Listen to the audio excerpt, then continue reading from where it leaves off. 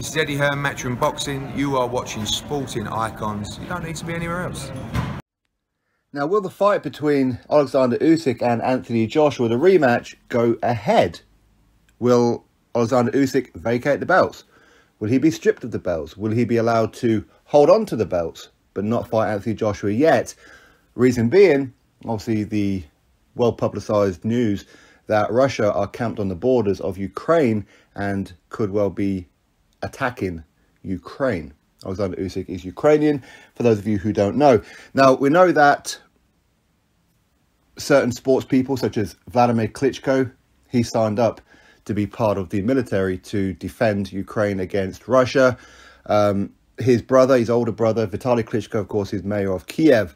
Now, we know that Alexander Usyk, firstly, he's a very, very patriotic Ukrainian, and of course, he's very close with the Klitschko's as well. So, has he signed up as well? Um, is he ready to defend his country? All these kind of things will be answered, I suppose, if and when Russia invade Ukraine. Now, listen, I don't really follow the news too much, so quite why they're invading, I believe it's something to do with Ukraine want to have links with NATO, and Russia don't like that. You want to be friends with them, but don't be friends with us. Now we're going to invade you hey, listen, I'm sure there's more reasons to it than what I've just said.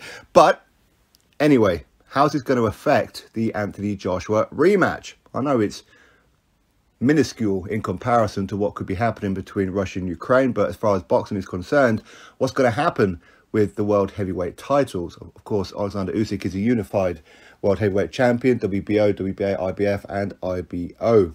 I don't like the IBO too much. But what's going to happen? Would the sanctioning bodies give Alexander Usyk leeway, as in, you know what, keep hold of the belts when you're ready and the whole conflict is sorted out, come back? Would they make him, say, champion in recess? So, in other words, take the belts off him and say, whenever you're ready to come back, you can fight for any, any of the belts that uh, you choose. What would then happen if they did strip him or he was to be vac or if he, if he was to vacate the belts? Would Anthony Joshua get all those belts back?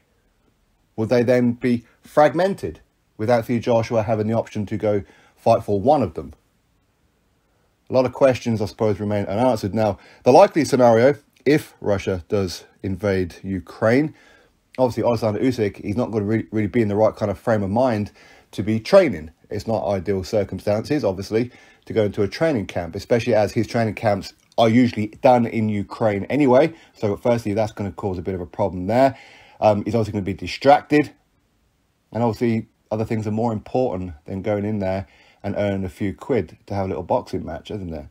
But I think the likely outcome will be that he'll be made champion in recess. And once he's ready, he'll probably come back and choose one of the belts to go for. And if he was to win that one, he'd, he'd still be the um, champion of recess for the other two, so so he can just go back and belt collect if he really needs to. Because they're not just going to hold all the belts, are they? And then he can just come back and fight for all the belts in one go. Unless, of course, by the time he's ready to come back, whoever has got all the belts, if they manage to belt collect them all before Usyk is ready to come back, then maybe he can go straight after them at that point. But I don't believe that Anthony Joshua will get all the belts back straight away. Now, should he get all the belts back straight away? Well,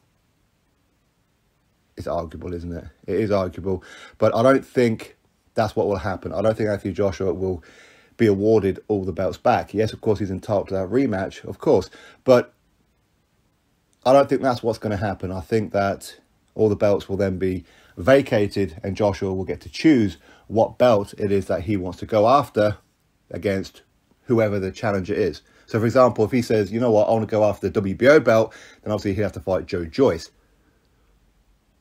If he wants to go after the WBA belt, well, he may have to currently go after Trevor Bryan or a Robert Helenius. We know Dan Dubois, of course, he's got that fight with um, Trevor Bryan at some point for the regular belt, but I imagine that, the, that they would probably elevate um, Trevor Bryan. I mean, that'd just be ridiculous, but that's the kind of thing that the WBA would do, obviously, with their relationship with Don King. The IBF, well, there is currently no mandatory challenger, but they could well say to Joshua, well, if you want to fight for the IBF, then we know Filip Hrgovic, he's got to go fight Zhilei Zhang for the vacant mandatory position. Maybe you can fight the winner of that fight or go straight into a Hrgovic fight. I mean, just based on those scenarios, you'd imagine that the WBA will probably be the more simple one to do because obviously Trevor Bryan, there's no way that Trevor Bryan is defeating Anthony Joshua, no chance at all. Personally, I think that Anthony Joshua defeats Joe Joyce and uh, he defeats Filip Hrgovic, but they're more risky, more risky, and it wouldn't surprise me if either one of those guys did beat Anthony Joshua.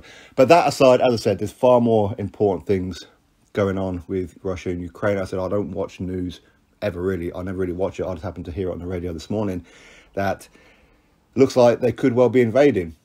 What impact will that have on the unified world heavyweight champion Alexander Usyk? Let's wait and see. Drop your thoughts below. Click thumbs up, subscribe. Catch you on the next video.